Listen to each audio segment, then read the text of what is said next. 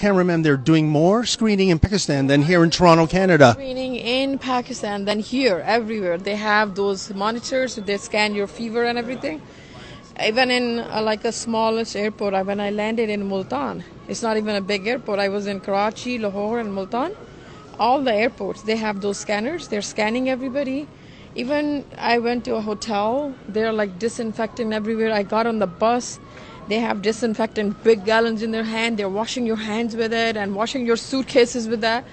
And here I don't see that. And when I was traveling in Pakistan, they were they were actually checking your temperature. Yes, sir. I'm hearing that from every passenger deplaning that there. It seemed that there were more enhanced screening and precautions in Karachi than here in Toronto. Yes, I have seen that. Uh, like you know, because here, yes, they have handed over these two papers that okay, you know, stay home and all that, but they don't actually catch the person right from the airport. They don't know who's entering, who's bringing what.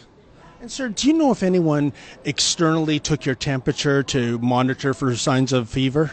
Actually, upon arrival, uh, we landed February 16th, and we had our temperature taken before we even got to Here in Toronto, or uh, Karachi. But not here in Toronto though. Oh no, not in Toronto. And yet, our prime minister promised on Monday that as of midnight today, uh, so you know, uh, 14 hours ago, um, these new enhanced screening measures were going to take effect. Why do you think they're just giving out pamphlets? I honestly, I don't think so. It's enough. How many people are going to read and follow? They should have more precautions here. I'm being serious. I've been in Canada for 30 years, so I'm more loyal to Canada than any other country.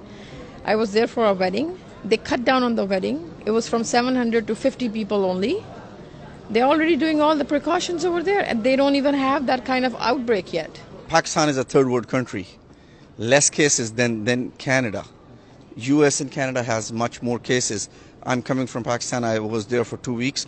Uh, you see a lot of precautions, much more measures than than a, a Western world. Like you know, Canada, we have much more resources. We are we are far ahead of those countries.